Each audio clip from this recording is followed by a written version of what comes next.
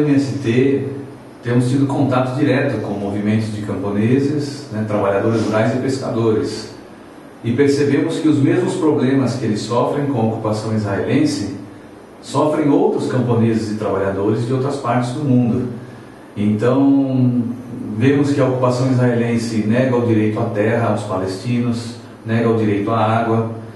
Percebemos que há movimentos de camponeses, como a União dos Comitês de Trabalho Agrícola, que lutam contra né, os transgênicos, os organismos geneticamente modificados, lutam pela, pelo direito à terra, à água, à vida. Então são bandeiras que a Via Campesina já defende. E esse contato com a UALC e outros movimentos né, tem levado o, o MST a convidar a UALC para várias atividades e a UALC já tem participado né, de encontros da Via Campesina em várias partes do mundo. Então, o programa da Via Campesina, na verdade, é o mesmo programa que defendem os camponeses, pescadores e trabalhadores rurais da Palestina. It says that peasants, uh, men and women, they are working together in, this, in their struggle for the land and for the life. So, by united the Palestinian farmers with the international farmers, by learning from the studies, from the experience of the international uh, uh, farmers, like in Latin America, they have a, a, a very rich experience. So these Palestinian farmers will have the knowledge, the experience to develop their struggle against the rich people and against the occupation itself. Nós acreditamos que a luta dos palestinos pode contribuir muito para fortalecer a via campesina.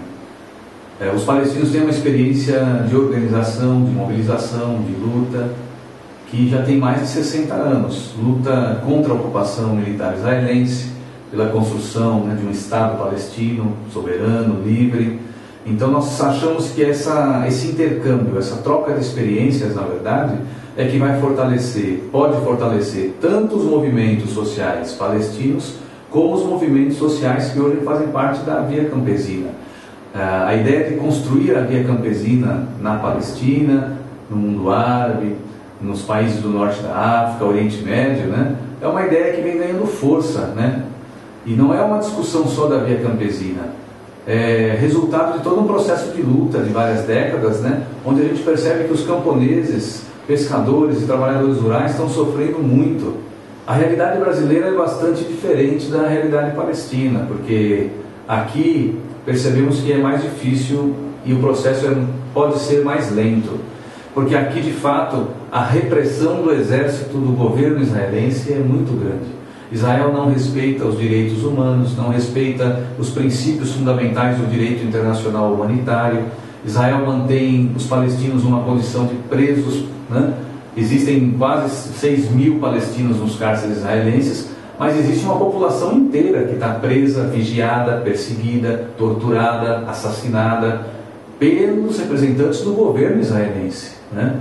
Então aqui a situação é muito difícil. Você fazer uma passeata, uma marcha com camponeses, né, para que essa, se, se aqui os camponeses quiserem organizar uma marcha de 10 quilômetros de uma cidade a outra, Sabemos que é, é preciso muito mais tempo para organizar essa marcha, é preciso muito mais cuidado, muito mais cautela, porque uma marcha pacífica de pessoas que reivindicam terra, água, melhores condições de vida, melhores condições de trabalho, pode ser entendida já pelo exército israelense como uma manifestação direta contra o próprio Estado israelense. Né?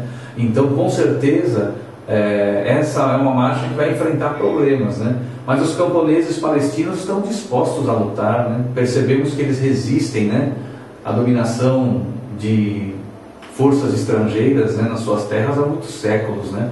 Então os palestinos também aprenderam a resistir, né? E a continuar lutando, né? Por aquilo que eles sabem com certeza que lhes pertence, que é o seu direito à terra, né?